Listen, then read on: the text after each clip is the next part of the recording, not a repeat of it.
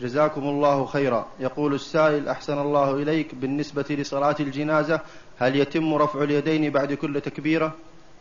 يستحب رفع اليدين مع كل تكبيرة من تكبيرات صلاة الجنائز. نعم.